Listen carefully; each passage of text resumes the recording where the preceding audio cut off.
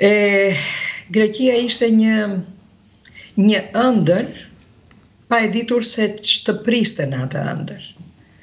Siç të thashë, lashë fëmijët shumë të vegjël.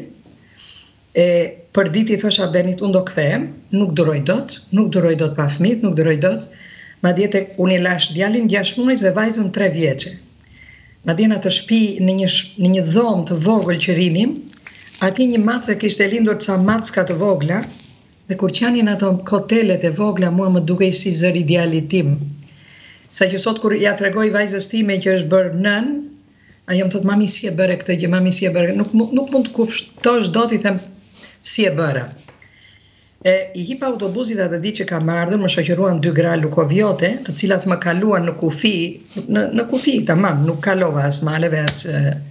Dhe i thanë atij ushtarit aty, i thanë kësaj gruas i ka, vde, i, i ka bërë burri aksident, është në spital dhe duhet ta çojmë atje. Kështu e, e gënjyen atë ushtarin dhe unë kalova. Deri pa kaluar kufirin të them të drejtën mezi prisja që të takohesha me Benin, ne kishim gjithë gjithë ishim katër vjet martuar, ishim çift i ri. Por kur kalova kufirin dhe ndjeva që u largova nga fëmijët, Rudina nuk e imagjinon dot se m'u bë një një lëmsh i madh këtu në stomak, e kam larë rrugën me lot derisa mbërrita në Athinë. Më priste Beni me tre trëndafila në dorë tek stacioni i autobusit dhe më thotë, Do ikësh në shpi tani, më çoi deri në shpi, rrinim bashkë me motrën time dhe ajo i kishte lënë fëmijët e saj. Dhe unë do kthehem në orën 2 të natës, më thotë se punojmë në një hotel të madh, vinin ca e tip pankartash se pritej vinte një doktor i madh nga në një nga hotelet e bënte një konferencë shkencore.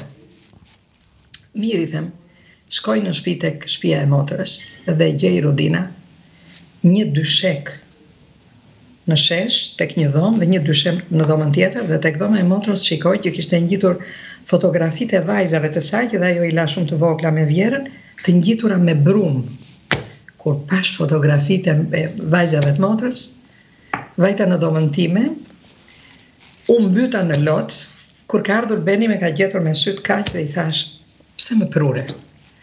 Po unë pres të më ngushëllosh, më tha, ti, ti nuk e merr dot me mend se unë pa ty s'bëj dot, nuk mund të rri dot prap akoma me këta, këta janë pa punë për veten e tyre. Do rregullohemi, do shikosh, do gjendemi. Thashë si do rregullohemi? Ça do punoj unë? Si do punoj unë? Dhe kisha në në në vesh gjithmonë atë fjalën e babit që më thoshte Meçu, po të studiuam kaq vite, po punove kaq vite, po krijove një një figurë, po që një mësuese e mesme të shkollës muzikës është e mundur të vesh në Greqi. Bile kishte edhe atë konceptin që e, i shpërdorojnë gratë shqiptare atje në Greqi. Po jo, babi i thosha unë, po unë do iki, dhe ne do, do, nuk e di, nuk e di, si, si ta bësh ti këtë gjë, nuk, nuk dua ta bësh ti këtë gjë.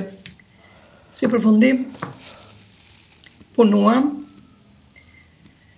pastruam shpira, kuptohet, Beni ku gjente, të lyente ndonjë gjë se kimist, nuk kishte punuar ndonjëherë, s'dinte, s'dinte një profesion të mamë, të mamë.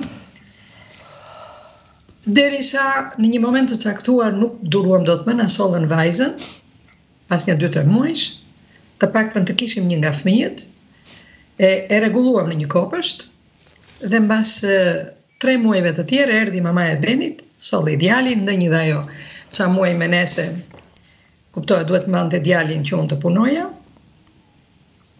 Dhe ikën ajo dhe vjen mamaja ime, gjithmonë për të mbajtur djalin.